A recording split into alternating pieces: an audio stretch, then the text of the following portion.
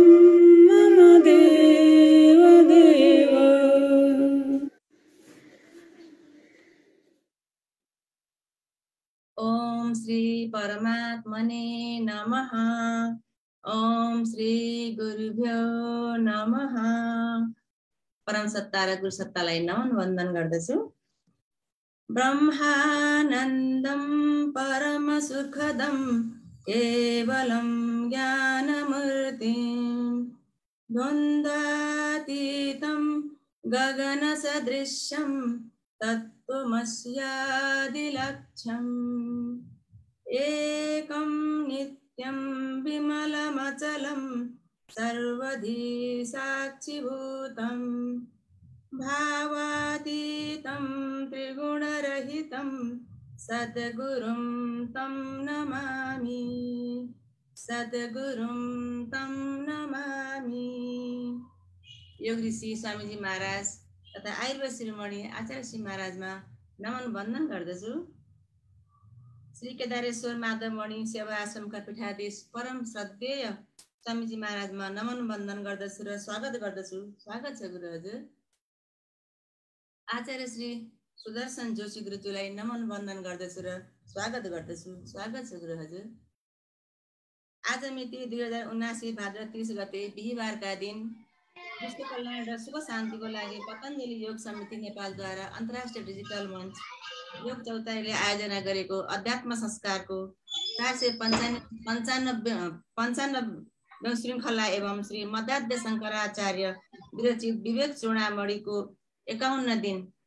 पतञ्जलि योग समिति नेपालका केन्द्रीय सदस्य एवं योग चौतारीका संयोजकज्यू अध्यात्म संस्कारका संयोजकज्यू तथा अन्य पदाधिकारी ज्यूहरू प्रविधिमा रहनुभएका सम्पूर्ण दिव्यजनहरू जुम तथा फेसबुक लाइभमा स्वाध्यायको लागि उपस्थित हुनुभएका सम्पूर्ण सत्सङ्ग प्रेमीहरूमा नमन वन्दन गर्दै म स्वागत गर्दछु। स्वागत छ हजुरहरूलाई। अब आजको सत्रलाई दीप प्रज्वलन गरी शुभारम्भ गरिदिनु हुन आदरणीय श्री निर्मला गजरेलज्यूलाई सादर अनुरोध गर्दछु। स्वागत छ।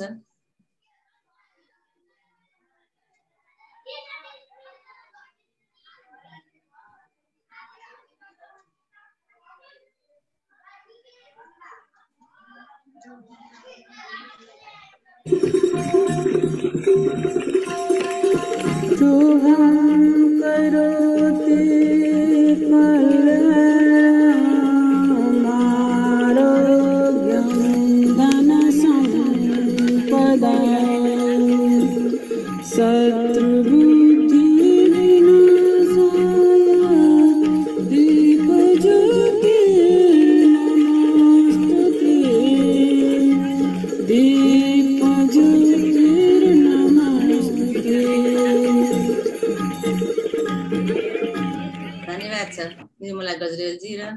प्रसाद अस्तिज्यू दुवैलाई दिप्रजन गरी शुभारम्भ गरिदिनु भएकोमा। अब आजको सोध्यालाई अगाडि बढाइदिनु हुन म पुनः स्वागत गर्दै स्वामीजी महाराजलाई विनम्र अनुरोध गर्दछु। स्वागत छ गुरुदेव। हरि भद्रं कर्णे विशृणुयाम देवाः। भद्रं पश्येमाक्षभिर्यजत्राः स्थिरैरङ्गैस्तुष्टुवाग्भूतस्तनूहृद्व्यशे मदेवहितं जदायुः स्वस्ति न इन्द्रो वृद्धश्रवाः। स्वस्ति नः पूषा विश्ववेदाः। स्वस्ति नस्तार्क्ष्यो अरिष्टनेमिः स्वस्ति नो बृहस्पतिर्दधातु। ॐ शान्तिः शान्तिः शान्तिः। शुक्लां ब्रह्मविचारसारपरमा माद्यां जगद्व्यापिनीं वीणापुस्तकधारणीमभयदाम्। जाढ्यान्धकारापहाम्। हस्ते स्फाटिकमालिकां विदधतीम्। पद्मासने संस्थिताम्। वंदे तां परमेश्वरीं भगवतीं बुद्धिप्रदां शारदाम्। यं शैवाः समुपासते शिवैति ब्रह्मेति वेदान्तिनो।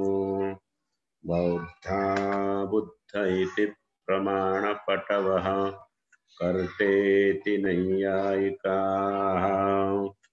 अर्हन्नित्यथ जैनशासनरता कर्मेति मीमांसकाः सोऽयं वो विदधातु वाञ्छितफलं त्रैलोक्यनाथो हरिः सदाशिवसमारम्भाम् शङ्कराचार्यमध्यमाम् अस्मदाचार्यपर्यन्तां वंदे गुरुपरम्पराम्।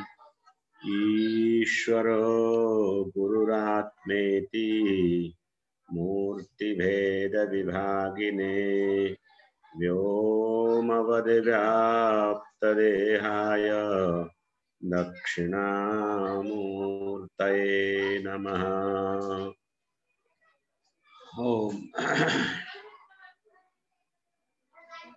पतंजलि योग समिति योग चौतारी को नियमित स्वाध्याय श्रृंखला अध्यात्म संस्कार को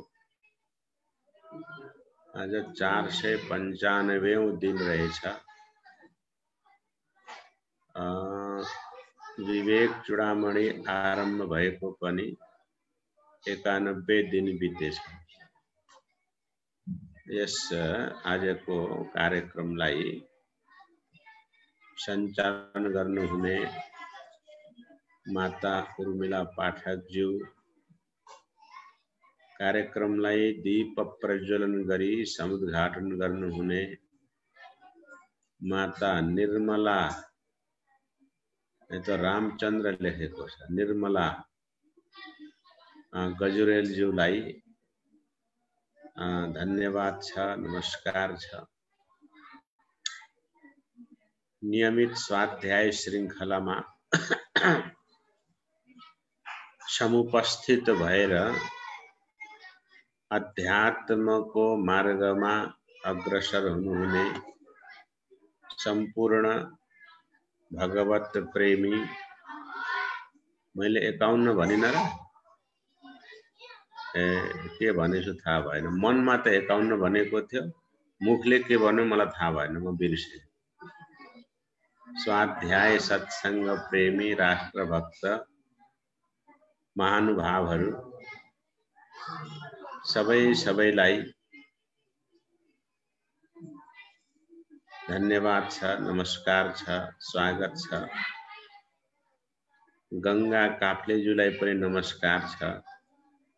स्मरण गराइदिनु भएकोमा गङ्गा मात्रै हो कि गङ्गा प्रसाद हो?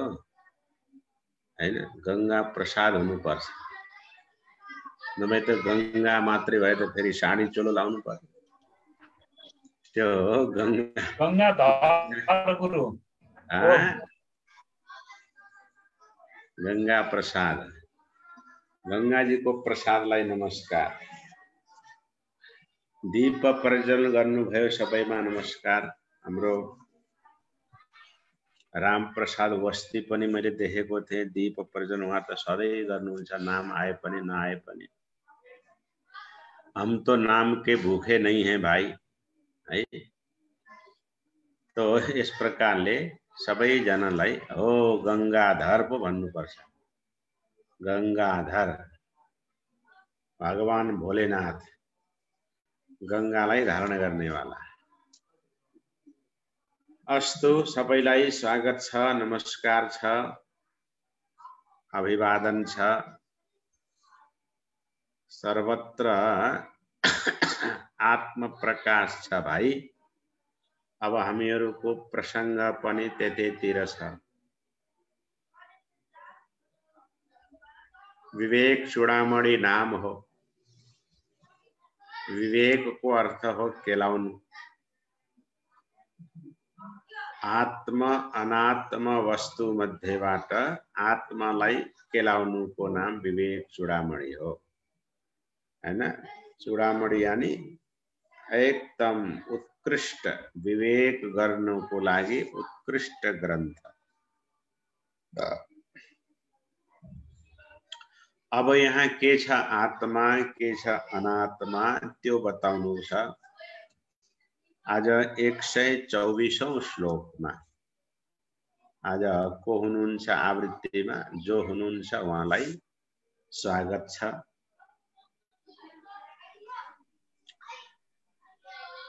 अब आत्मा के हो? अनात्मा के हो? यो हामीले आफै बुझौँ। शनै शनै बुझ्नुपर्छ। है? नीतिले के भनेको छ भनेदेखि, शनै कन्था, शनै पन्था, शनै पर्वत लङ्घनम शनैर्विद्या, शनैर्वित्तम, पञ्चैतानि, शनै शनै। पाँच चिजमा हतार नगर्नु अरे। के के चिजमा? शनै कन्था। कन्था भनेको थाहा छ कि छैन हजुरहरूलाई त थाहा होला। विदेशमा गएकालाई थाहा हुँदैन अथवा आजभरिका आफूलाई पढे लेखेको मान्नेवालालाई पनि थाहा हुँदैन किन अब चाहिँ के आयो भनेदेखि के? भन्छ त्यसलाई रेडिमेड चिज आयो रेडिमेड तो कन्था भनेको कस्तो हो भनेदेखि पहिला पहिलाको जमानामा पहिला पहिला पहिलाको जमानामा जब बुहारी या छोरी गर्भवती हुन्थिन् अब दुई तिन महिनामा सन्तान उत्पन्न हुन्छ भन्ने थाहा पाएपछि आमाले हजुरआमाले साना साना थाङ्नाहरू बनाउनुहुन्थ्यो क्या उसलाई सुताउनुको लागि। त्यसैको नाम हो कन्था। अब थाहा भयो होइन? कन्था भनेको थाङ्नो बनाउनु साना साना कपडाहरू जोडेर राम्रो तरिकाले बनाइन्थ्यो। हामी पनि त्यसैमा सुतेको अरे। सनै कन्था। कन्था भनेको थाङ्नु बिस्तारै स्याउनु। छिटो छिटो सियो भनेदेखि के हुन्छ? हातमा फेरि गोप्छ सनै कन्था। कन्था भनेको थाहा भयो होला होइन? थाङ्नै भन्छ क्या नेपाली भाषामा। अनि सनै पन्था। बाटो पनि बिस्तारै हिँड्नु। लामो बाटो जानु छ छिटो छिटो हिँड्नुभयो भनेदेखि के हुन्छ? गलिन्छ। गन्तव्यमा पुग्न गाह्रो हुन्छ। त्यस कारणले बिस्तारै हिँड्यो भनेदेखि पुगिन्छ। थोरै समय लाग्ला। त सनै पर्वत लङ्घनम पहाड चढ्नु छ भनेदेखि पनि बिस्तारै अनि सनै विद्या। विद्या यानि ज्ञान प्राप्ति पनि एकै दिनमा सबै गर्छु भने नि दिनभरि रातभरि बसेर पढे हुँदैन केही पनि। होइन? सनै विद्या। त्यस्तै सनै वित्तम। धन पनि बिस्तारै कमाउनु पर्छ। होइन? एकै दिनमा धन पनि कमाइँदैन। यी पञ्चैतानि सनै सनै पाँच बिस्तारै बिस्तारै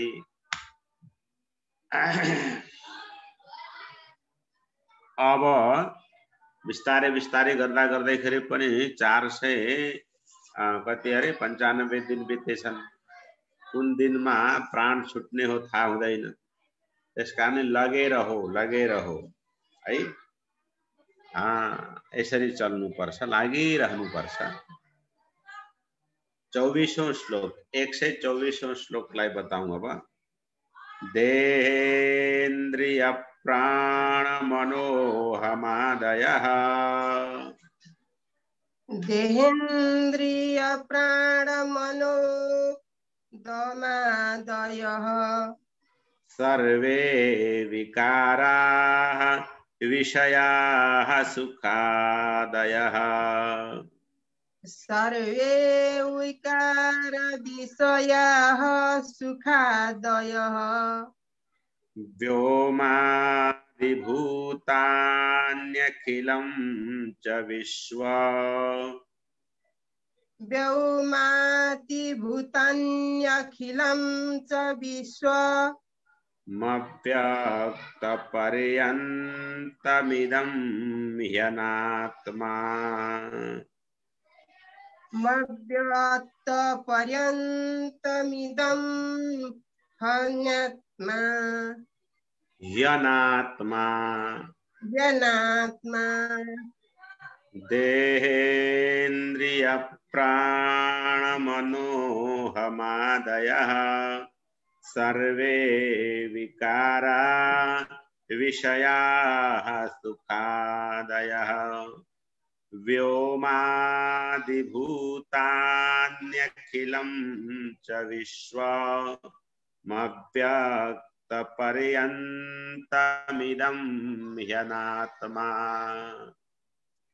देहेन्द्रि देहेन्द्रिय प्राणमनोहमादयः सर्वे विकार विषयाः सुखादयः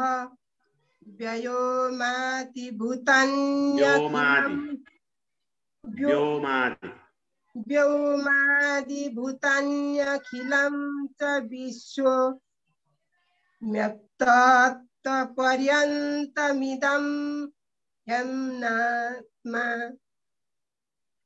अब हजुरहरूले के ध्यान राख्नु भने दीर्घलाई थोरै लामो भन्नुपर्छ भन्ने कुरा ध्यान राख्नु अरू ठिक छ।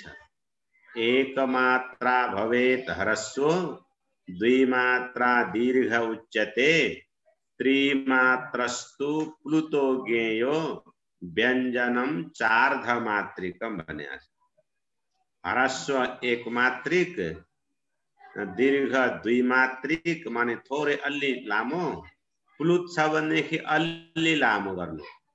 प्लुत भनेको प्राय गरेर नामको अन्तमा सम्बोधनमा आउँछ। जस्तै कसैले हजुरलाई बोलाउँदाखेरि रामचन्द्रजीले बोलाउनुहुन्छ होला नि ए निर्मला भन्नुहुन्छ नि है।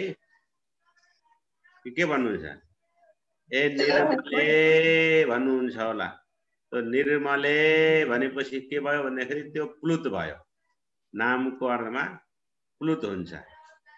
त्यस कारणले यसरी बोल्नु होला देहे ध्यानसँग सुन देहेन्द्रिय प्राण मनोहमादय सर्वे विकारा विषयाः सुखादयः व्योमादिभूतान्यखिलं च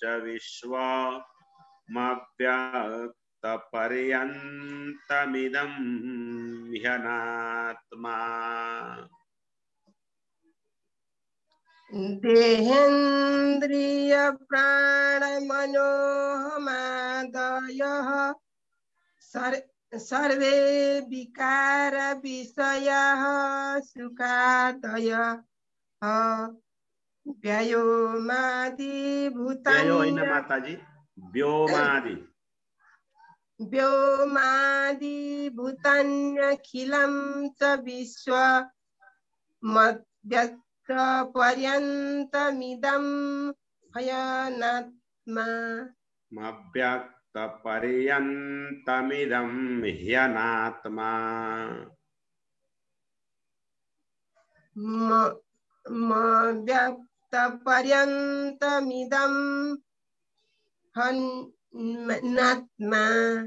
ह्य ह्यनात्मा ह्यनात्मा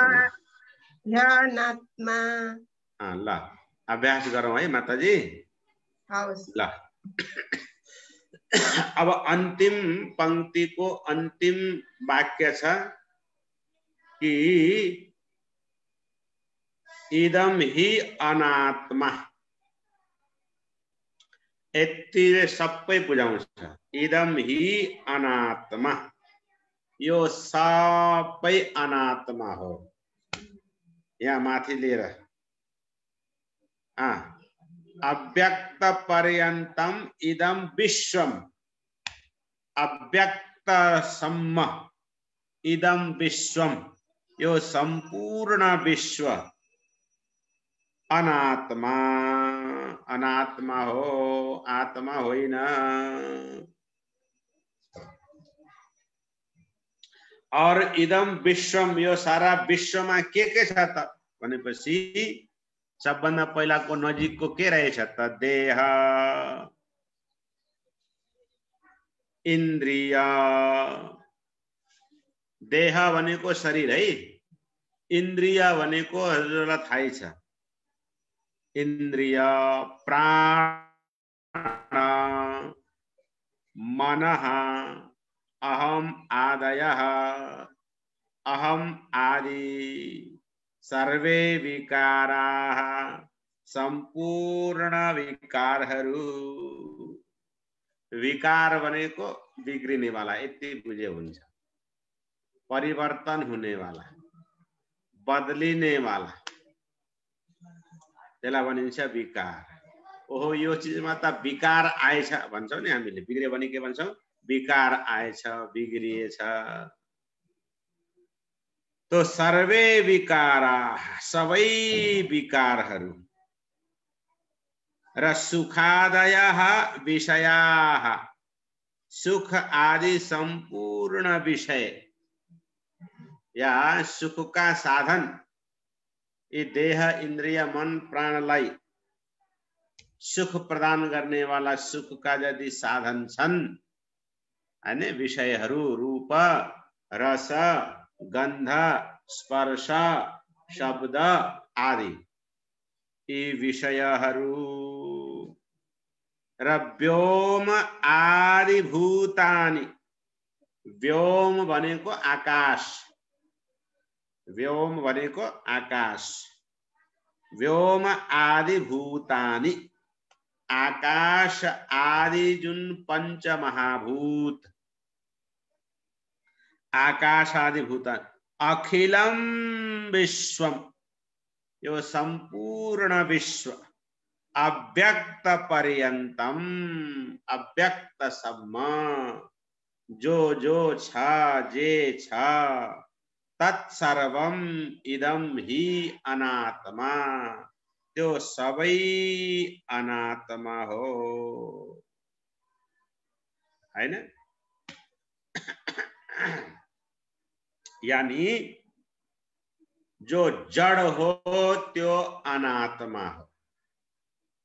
यसलाई सजिलो भाषामा अ, थोरै शब्दले भन्नु पर्दा, जो जड हो, त्यो अनात्मा हो। र जड भनेको यहाँ जति चिज बतायो, ती सबै जड हुन्।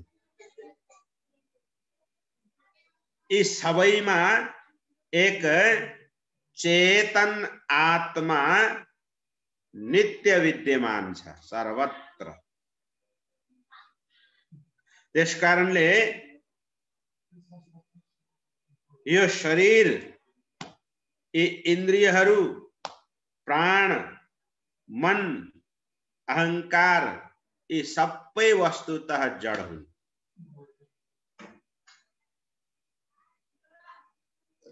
र यी सबै प्र- प्रकृतिका कार्य हुन्। तर जस्तै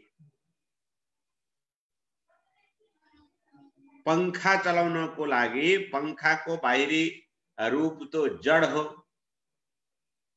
त्यसमा करेन्टको आवश्यकता पर्छ। करेन्टले बाहिरको पङ्खाका पातहरूलाई चलाइदिन्छ त्यस्तै प्रकारले यी यी बताइएका जति पनि देह इन्द्रिय आत्मा जति छन् ती सबै देह इन्द्रिय अहङ्कार आदि जति बाहिरी, जड वस्तु पदार्थहरू छन्, ती सबैमा आत्माको शक्ति सम्बलित छ। शक्ति सम्पन्न भएर नै यी कार्य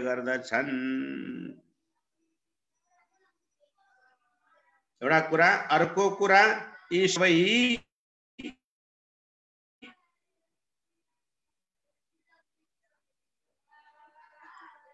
त्यस कारणले चैतन्यको शक्तिले सम्बलित भएर यिनले काम गर्छन् चैतन्य शक्तियुक्त छ भनेदेखि यिनले काम गरे नभए यी सबै के हुन् जड हुन् अनात्मा हुन् यानि बाहिर देखिने यो चर्म चक्षुले देखिने भनौँ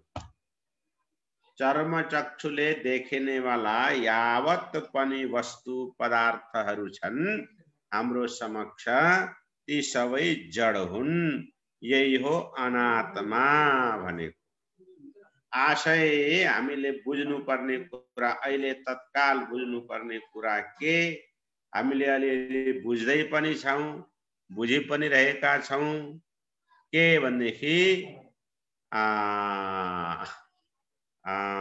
यो देह यानि शरीर इन्द्रिय मन, प्राण अहङ्कार यी सबै विकारहरू। र विषय जुन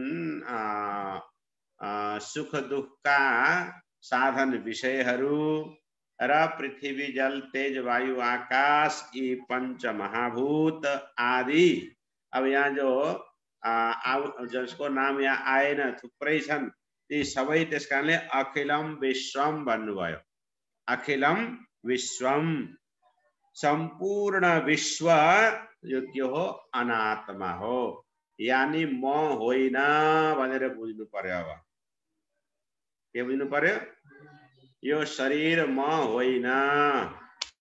जसलाई म भनिरहेको छु त्यो शरीर वस्तु त म होइन। जसलाई मैले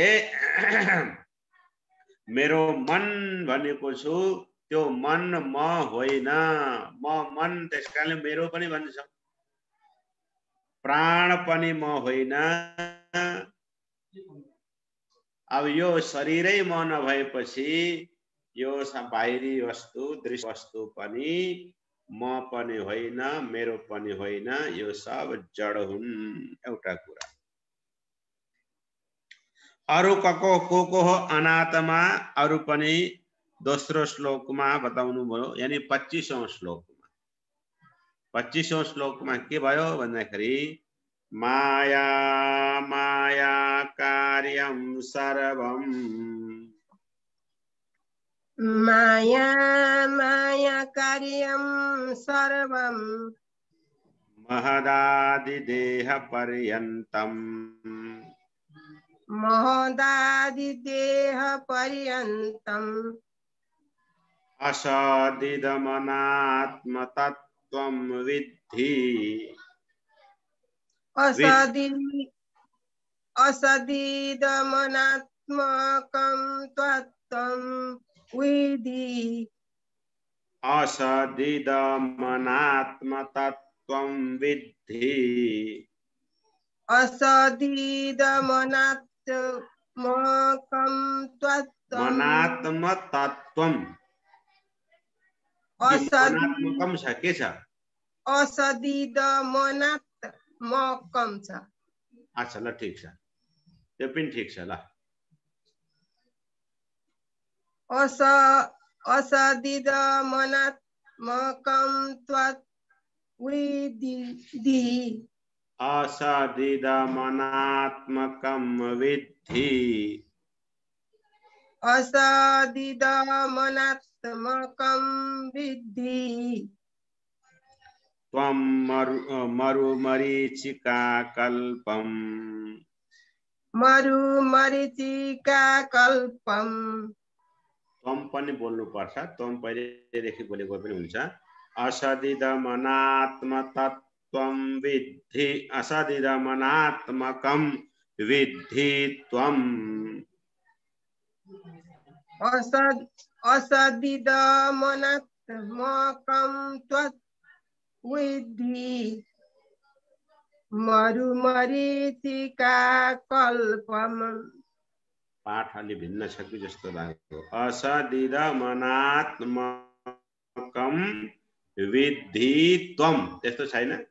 यहाँ चाहिँ असदिद मनात्मकं त्वं विद्धि भनेर छ। ए त्वम विद्धि ल ठिक छ कोही बात नहीं असदिदमनात्मकं त्वम विद्धि। असदिद मनात्मकं with thee. Marumarichikakalpam. कल्पम, अब पुरा श्लोक हामीले भन्छौँ माया माया कार्यम सर्वम महदादिदेह पर्यन्तम असदिदमनात्मकं त्वं विद्धि मरुमरीचिकाकल्पम्। माया मायाकार्यं सर्वं मोहदादिदेयपर्यन्तम्। असदिदमानात्म मानात्मकं त्वं विद्धि मरुमरीचिकाकल्पम्। कल्पम् ल सुन्दर ठिक छ असदिद मनात्मकम भन्नु होला। अच्छा। अब यसको आशय के हो भन्दाखेरि माया। एक तो माया जसको वर्णन पछाडि भयो।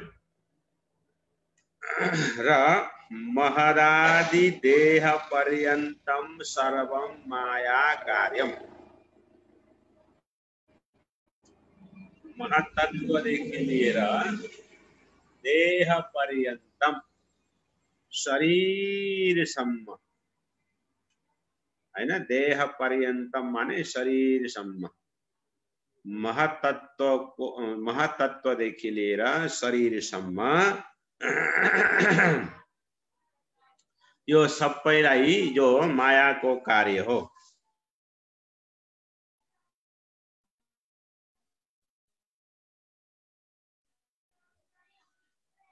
माया र मायाको कार्य। मायाद्वारा निर्मित महतदेखि लिएर महतत्वदेखि लिएर अहङ्कारसम्म दे शरीरसम्म महतत्वदेखि लिएर शरीरसम्म जो छ, यी सबैलाई असत, यसलाई असत मान्नु। र अनात्मकम। अनात्मक जान्नु। यो सबै असत हो र अनात्मा हो। यस्तो जान्नु। कस्तो प्रकारले? बोले मरुमरीचिकावत।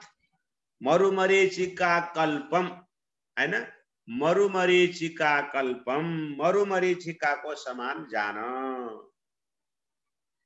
मरुमरीचिकालाई कतिजनाले बुझ्नु भएको छ? मरुमरीचिका भनेको कस्तोलाई भन्छ भने एक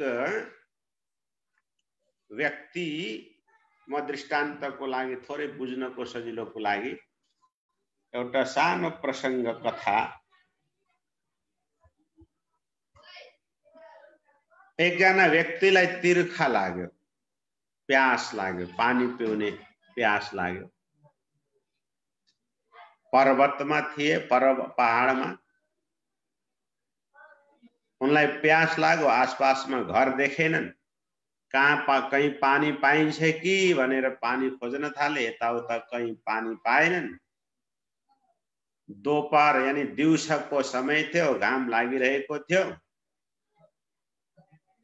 अनि पर टाढा त तलतिर हेर्दाखेरि पहाडबाट तल तराईतिर हेर्दाखेरि पानी देखे। सङ्लो पानी देखे बडा खुसी भए। अलि पर जहाँ गएर पनि पानी चाहिँ पाइने रहेछ त्यहाँ सङ्लो पानी रहेछ। अनि पानी खाने उद्देश्यले गए। नजिक जाँदाखेरि त त्यो पानी भएको ठाउँमा के थियो त भन्दाखेरि एकदम तातो बालु। होइन? के रहेछ? मरु मरिचिका। मरु यानि मरु भूमि। उसमा कल्पित भएको मरिचिका। सूर्यको किरणले गर्दाखेरि पानी जस्तो देखियो चमक देखियो अनि पानी देखियो पानी खान आए। पानी खान आएपछि त कस्तो लाग्यो? त्यहाँ त झन् तातो बालु छ। हो यही अवस्था हाम्रो हो। हुन चाहिँ यो सारा संसार मरिचिका हो मरुमरिचिका हो। यसलाई हामीले सत्य सम्झेका छौँ। र आफ्नो स्वरूपबाट च्युतो भएर त्यो प्यासो व्यक्तिले मरुमरिचिकातिर गए जस्तै उता पानी खोजे जस्तै हामीले पनि यो शरीरमा सुख खोजेका छौँ। होइन? वस्तुमा सुख खोजेका छौँ पदार्थमा सुख खोजेका छौँ। यी सबै चिज पनि हुन चाहिँ त्यस्तै हुन्। टाढाबाट देख्दाखेरि आहा भन्ने। आधा तिर्खा त त्यसै मेटिन्छ। टाढाबाट देख्यो भने आधा तिर्खा त्यसै मेटिन्छ। अनि नजिक गयो भने फेरि तिर्खा फेरि फेरि समस्या आउँछ हो त्यस्तै। हामीले देखेर। यो रमझम भन्छ क्यारे होइन रमाइलोमा लागेर हामी छौँ।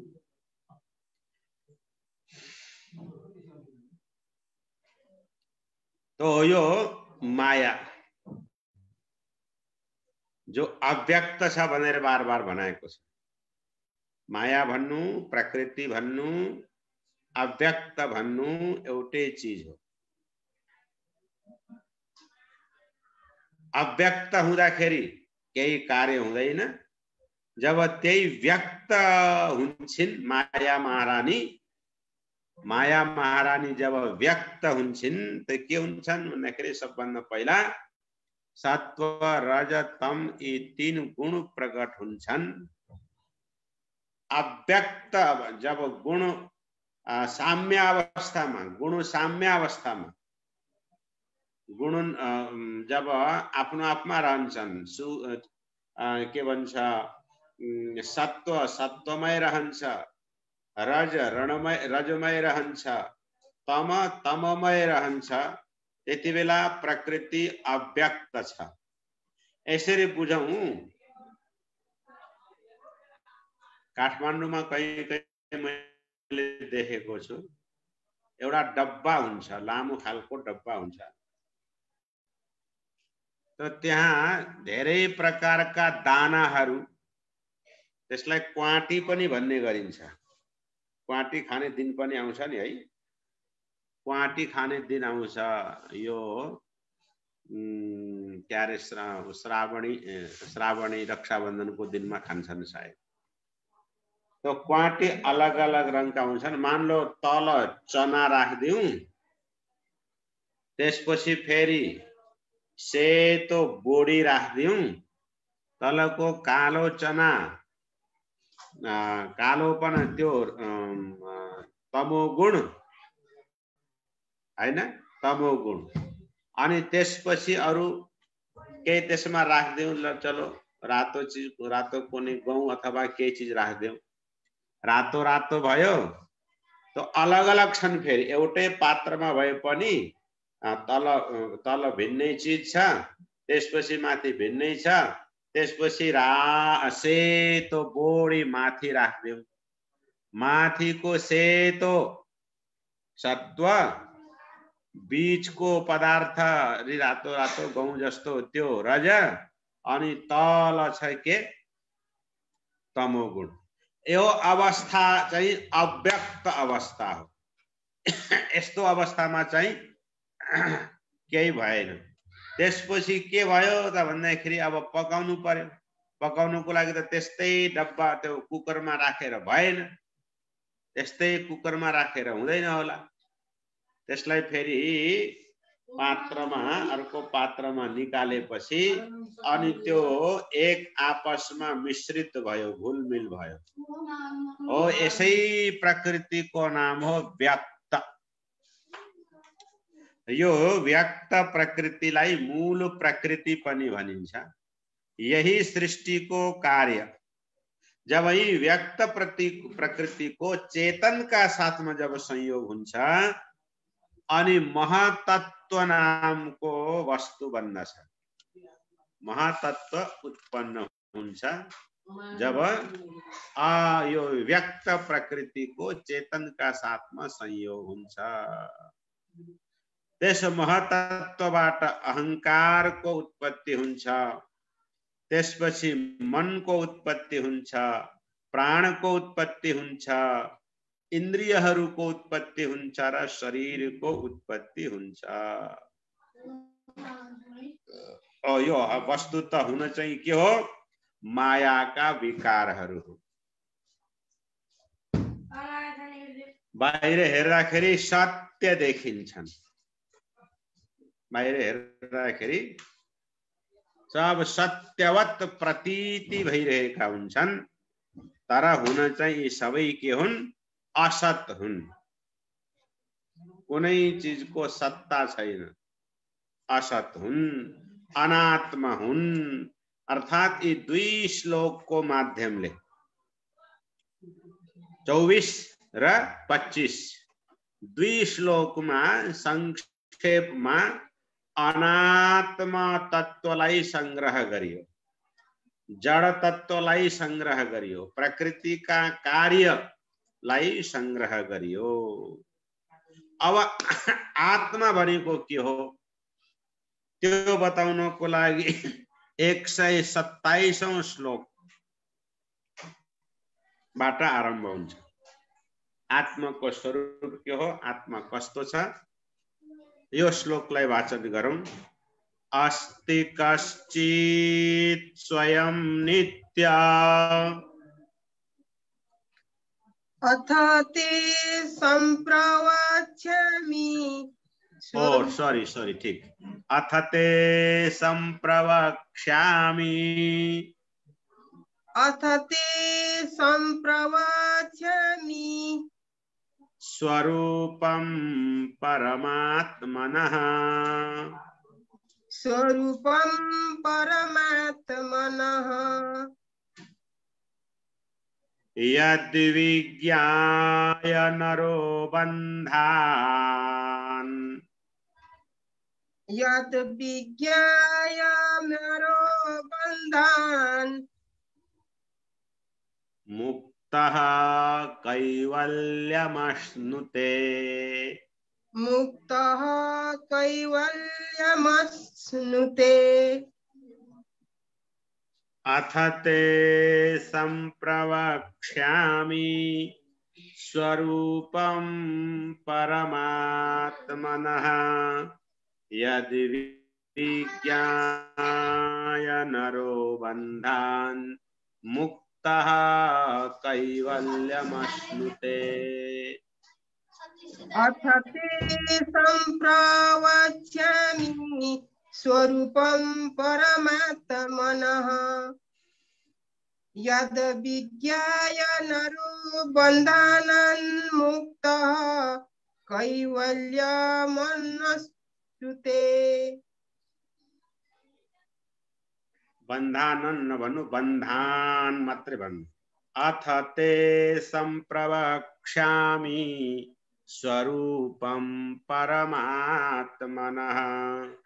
यदि विज्ञाय नरो बन्धान्, मुक्तः कैवल्यमश्नुते। अथ ते सम्प्रवक्ष्यामि स्वरूपं परमात्मनः। यद् विज्ञाय नरो बन्धान् मुक्तः कैवल्यमनुसुते। सुन्दर ल राम्रो भयो अथ अथ भनेको अनन्तर। अब संक्षेपमा अनात्मको वर्णन गरेपछि अथ अथ शब्दलाई मङ्गलकारक पनि भनेको छ।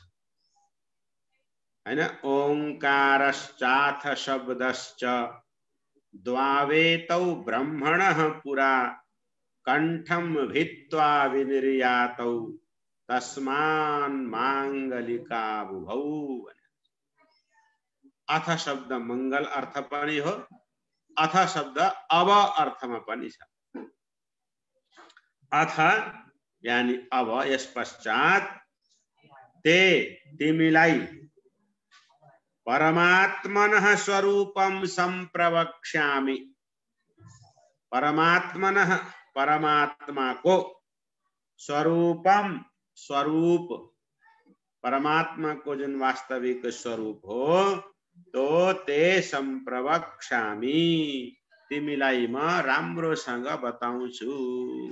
सम्प्रवक्ष्यामि सम्यक प्रकारेण वक्ष्यामि सम्प्रवक्ष्यामि म तिमीलाई राम्रो तरिकाले अब परमात्माको स्वरूपलाई बताउँछु।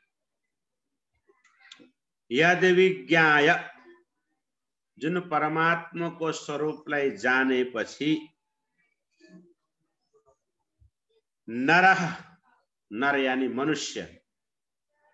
बन्धान मुक्त समस्त बन्धनबाट मुक्त भएर के कैवल्यम अश्नुते कैवल्य प्राप्त गर्दछ कैवल्यलाई प्राप्त गर्छ कैवल्य भनेको के हो केवलस्य भाव कैवल्यम। केवलको भाव केवल भनेको ऐक्यता। जबसम्म उपनिषदले पनि के भन्छ भने कि द्वितीयाद वै भयम भवति। जब दुईको भाव हुन्छ अनि डर हुन्छ दुई जहाँ आयो अनि डर भयो। तर त्यो दुई कबसम्म रहन्छ। जबसम्म परमात्माको वास्तविक स्वरूपको बोध हुँदैन। परमात्माको स्वरूपको बोध भएपछि के हुँदो रहेछ? मुक्त भयो। अब त्यहाँ अरू केही आत्मको अलावा अरू रहेन। आत्मस्थिति मात्रै रह्यो। अरू केही रहेन प्रकृतिका जति कार्य छन्, ती सब विलीन भए ती सब गायब भए जो सारा विश्व प्रकृति को कार्य हो त्यो गायब भयो यी सब अनात्मा हुन्। अनात्मा धेरै देखिन्छ आत्मा एकै जो चैतन्य रूप त्यसैलाई परमात्मा भनियो। भागवतमा पनि यही बताएको छ। वदन्ति तत्तत्त्वविदस्तत्त्वं यज्ञानमद्वयम्। ब्रह्मेति परमात्मा इति भगवान इति च शब्दते। तत्व एउटै छ। तत्ववेत्ताहरूले बताएका छन्। तो एकै तत्व छ एक मात्रै छ। उसका नाम अलग अलग होना सक्छ। एकै तत्व का नाम अलग अलग हुन सक्छ व्यवहारमा। कसैले उसलाई ब्रह्म भन्न सक्छ कसैले उसलाई परमात्मा भन्न सक्छ। कसैले उसलाई भगवान भन्न सक्छ? जे पनि भन्न सक्छ। ब्रह्म इति, परमात्मा इति, भगवान इति च शब्दते ब्रह्म, परमात्मा, भगवान र अरू अरू पनि थुप्रै उसका नाम छन्। यसलाई जानेपछि यो जीव सांसारिक बन्धनबाट मुक्त भएर उसले कैवल्य प्राप्त गर्दछ। कैवल्यको अर्थ यही हो। केवलस्य भावम कैवल्यम एक। हम्म। अब सत्ताईसौं। अस्ति कश्चित् स्वयं नित्य। अस्ति कश्चित् स्वयं नित्य। महं प्रत्ययलम्बनः। महं प्रत्ययलम्बन। अवस्थात्रयसाक्षी सन् अवस्थात्रयसाक्षी सन् पञ्चकोशविलक्षणः पञ्चकोशविलक्षणः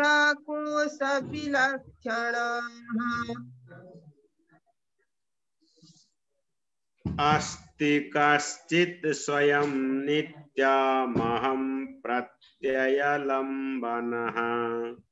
अवस्थात्रयसाक्षी सन् पञ्चकोशविलक्षणः। अस्ति कचित् स्वयं नित्यमहं प्रत्ययलम्बनः। अवस्थात्रयसाति सन् पञ्चकोशविलक्षणः। एक पटक फेरि भन्नु पर्यो माताजीले। अस्ति कश्चित् स्वयं नित्यमहं प्रत्ययलम्बनः अवस्थात्रयसाति स पञ्चकोशविलक्षणः।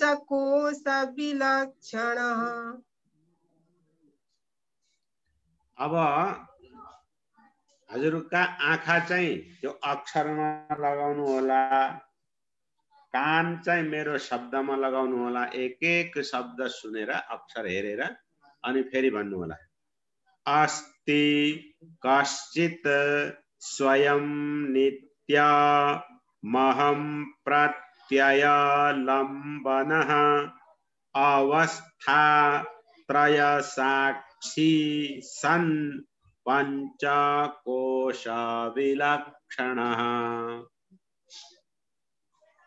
अस्ति कश्चित् स्वयं नित्यमहं कश्चित् किन अस्ति कश्चित् स्वयं। अस्ति कश्चित् स्वयं नित्यमहं प्रत्ययलम्बनः। अवस्थात्र अवस्थात्रयसाक्षी पञ्चकोशविलक्षणः। अवस्थात्रयसाक्षी सन् पञ्चकोशविलक्षणः। अवस्थात्रयसाति सन् पञ्चकोशविलक्षणः। ल। ठिक छ। मलाई कहिले कहिले एउटा जान्ने इच्छा हुन्छ जब हजुरहरूलाई अप्ठ्यारो पर्छ पा पढ्दाखेरि त्यति बेला किताबसँग रिस उठ्छ कि मसँग रिस उठ्छ कि आफैसँग रिस उठ्छ? कोसँग रिस उठ्छ? गुरु कसैसँग नि रिस उठ्दैन संस्कृत भनेको पहिला अहिले हजुरले पढाउँदा मात्रै यो पढेको नभए नेपाली स्कुल पढ्या बयालिस चौवालिस सालको एसएलसी हो नि संस्कृत पढेको थिएन केहीदेखि रिस उठ्दैन। अति खुसी छौ एकदम। अनि रिसै नउठेपछि अनि के को मान्छे त फेरि? रिस त थोरै थोरै त उठ्नु पर्यो नि। उठ्दैन गुरु। उठ्दैन यहाँ हाम्रो गुरुलाई। अहँ, ओहो। पहिलेदेखि त्यसो त ब्रह्म हुनुभएछ त अनि। ब्रह्मलाई छोडेर बाँकी सबैलाई रिस उठ्छ। उठ्दैन गुरु। ल।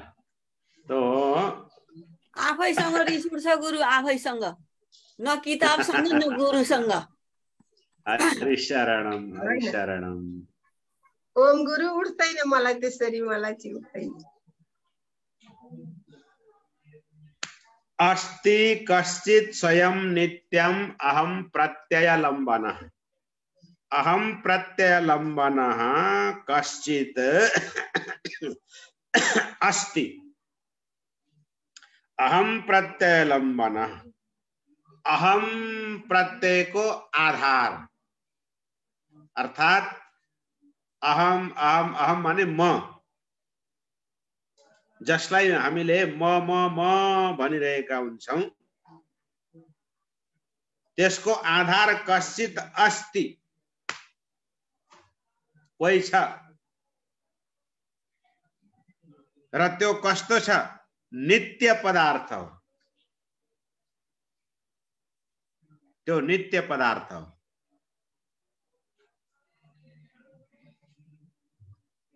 पाँच वर्षको हुँदा पनि, अहम प्रत्यय को आधार कोई थियो? अहिले पचास वर्षको हुँदा पनि, अहम प्रत्ययको आधार कोही छ? अस्सी नब्बे वर्षको भइसकेपछि पनि अहम भन्नेवाला प्रत्यय आधार होइ छ तर त्यो न पाँच वर्षको शरीर छ न पचास वर्षको शरीर छ। उसको आधार यो शरीर रहेनछ भन्ने कुरा थाहा भयो। किन? सानो हुँदा पनि अहम बन्यो कमजोर हुँदा पनि अहम बन्यो विद्यार्थी हुँदा पनि अहम बन्यो त्यसपछि पचास साठी वर्ष हुँदा पनि अहम बन्यो जबकि त्यो शरीर छँदै छैन ती सोचहरू पनि छैनन् त्यो मन पनि छैन त्यो बुद्धि पनि छैन। अस्सी नब्बे वर्ष पुगेपछिको त्यो न पचास पाँच वर्षको हो मन बुद्धि शरीर छ न पचास वर्षको मन बुद्धि शरीर छ पचास वर्षको मन पाँच वर्षको मन पाँच वर्षको हुँदाखेरि जुन मन थियो त्यसले त यो खान पाए हुन्थ्यो यो खिलाउन पाए हुन्थ्यो यसो गर्न पाए हुन्थ्यो भन्ने मनमा आएको छ। पचास वर्षको हुँदाखेरि मनमा के आयो? छोरालाई विदेश कसरी पठाउने? होइन? यो कसरी गर्ने? परिवारमा धन अलि पैसा कसरी आउने भन्यो। अनि अस्सी नब्बे वर्षको पुगेपछि फेरि के आयो? मेरो रोग कसरी ठिक होला? यो कसरी होला? अलग अलग कुरा आयो क्या तर अहम प्रत्यय एउटै छ फेरि। त्यही भएर भनेको अस्ति कश्चित स्वयं नित्यम अहम प्रत्ययलम्बन अवस्थात्रय साक्षी तिनै अवस्थाको साक्षी हो त्यो स्वप्नमा पनि उही छ जाग्रतमा पनि उही छ र सुसुप्तिमा पनि उही छ तिनै अवस्थाको साक्षी। क्या स्वप्नमा यो शरीर छ? स्वप्नमा यो शरीर छ मैले भन् मैले सोधेको प्रश्न हजुरहरूले आफै उत्तर दिनु। स्वप्नमा यो शरीर छ त? छैन। शरीरमा यो शरीर त ओछ्यानमा छ। होइन? सुसुप्तिको आनन्द पनि यो शरीरले लिएको छ त? छैन। तर त्यो अहम प्रत्ययवाला अवस्था त्रय साक्षी तिनै अवस्थाको जुन साक्षी हो त्यो नित्य पदार्थ हो त्यस कारणले यो पञ्चकोश विलक्षण पञ्चकोशदेखि विलक्षण। यानी अन्नमय कोश, मनोमय कोश, विज्ञानमय कोश, आनंदमय कोश, प्राणमय कोश आदि देखी विलक्षण। तो आत्मा हो। हामीले म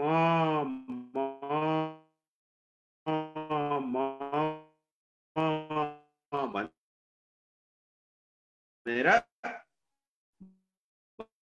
भन्ने प्रयास गर्नु पर्दछ। जसलाई जानिसकेपछि कैवल्यम अष्टुते कैवल्यको प्राप्ति हुन्छ।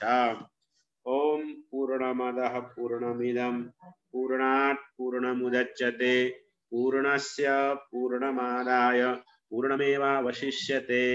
ओम शान्तिः शान्तिः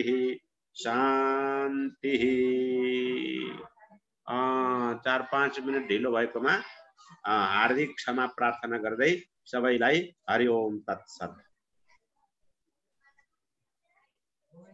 हामीलाई निरन्तर दिव्य ज्ञान प्रदान गर्न। स्वामीजीले आफ्नो अमूल्य समय प्रदान गर्नुभएकोमा स्वामीजीलाई सत सत नमन गर्दै आभार व्यक्त गर्दछु। अब आज दीप प्रज्वलन गर्नुहुने आदरणीय श्री निर्मला गजरेलजीलाई आफ्नो छोटो स्वभाव राखिदिनु हुन विनम्र अनुरोध गर्दछु। ओम श्री प्र परमात्मने नम। ओम श्री गुरुभ्यो नम। ओम विश्वानि देव सवितर दुरितानि परशुभ यद्भद्रं तना शुभ ओम शान्ति शान्ति शान्ति। पूज्य योग ऋषि स्वामी जी महाराज र आचार्य श्री को सूक्ष्म उपस्थिति को अनुभूत गर्दै नमन बन्दै गर्दै पूज्य चिदन चैतन्य स्वामी महाराजमा नमन। आचार्य गुरुमा नमन योग चौतारीका संयोजक गुरुमा नमन आध्यात्मिक संस्कारका संयोजक लगायत सम्पूर्ण टिममा नमन प्राविधिक टिममा र उपस्थित हुनुभएका सम्पूर्ण दिव्यजनहरूमा ओमको नाम। यस विवेक चुडामणिको स्वाध्याय कार्यक्रममा मलाई दीप प्रज्वलन आवृत्ति र शुभभाव राख्ने अवसर दिनुभएकोमा आध्यात्मिक संस्कारका संयोजकज्यूलाई धेरै धेरै धन्यवाद दिन चाहन्छु र गुरुले प्रत्येक शब्दको अर्थ लगाएर हामीलाई अति संस्कृत पनि यो जान्ने अवसर गराइदिनु भएको छ। गुरुको सानिध्यमा बसेर यी शब्दहरू जान्ने अवसर पाएकी छु। गुरुलाई धेरै धेरै धन्यवाद। र गुरुप्रति धेरै धेरै आभार प्रकट गर्दछु। र अब हामी सधैँ जोडिराख्ने मान्छे नयाँ नौला कुराहरू नि अरू बेला नि बोलिरहेका छौँ। त्यसकारण म यति भन्दै म मेरा यी बाणीहरूलाई यी विश्राम गर्न चाहन्छु। सबैमा ओम। सर्वे भवन्तु सुखिनः। सर्वे सन्तु निरामयः। सर्वे भद्राणि पश्यन्तु। मा कसित दुःख भाग भवेद ओम शान्ति शान्ति ओम धन्यवाद छ यहाँको छोटो मिठो स्वभावको लागि। धेरै धेरै धन्यवाद छ। अब हामी अध्यात्म संस्कारको विरामतर्फ आइपुगेका छौँ। अध्यात्म संस्कारको संयोजकजीको अनुमतिले यहाँ उपस्थित हुनुभएका सम्पूर्ण धर्मान अनुरागीहरूलाई धेरै धेरै धन्यवाद दिन चाहन्छु। र आज मलाई सहजकर्ताको जिम्मेवारी दिनुभएकोमा आयोजकहरूप्रति पनि धन्यवाद दिन चाहन्छु। र प्रविधिमा रहनुभएकी प्रतिभा भट्टराई निर्मला शङ्कर रामदाम गङ्गा काप्रे गुरु सम्पूर्ण प्राविधिक जीवहरूमा पनि म धन्यवाद दिन चाहन्छु। अब आजको अध्यात्म संस्कारलाई विराम गरिदिन एउटा भक्ति सङ्गीतका साथ भक्ति सङ्गीत लगाएर विराम गरिदिनु हुन म प्रतिभा बहिनीलाई विनम्र अनुरोध गर्दछु र म पनि विदा हुन चाहन्छु। Om Shantihi, Shantihi, Shantihi.